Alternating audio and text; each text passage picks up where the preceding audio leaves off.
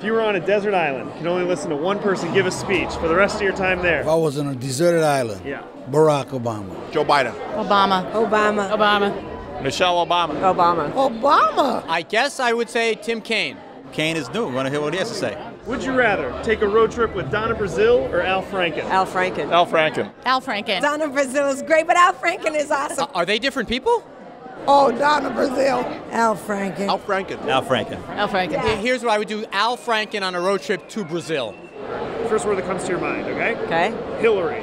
Exciting. President. White House. A commander in chief. A friend. Knowledgeable. President. Debbie Wasserman Schultz. Former. Um, DNC. My friend. A powerful woman. Hard worker. What can you say? TPP. I don't like it. No. Got to go. A trade agreement that we need. Go to hell.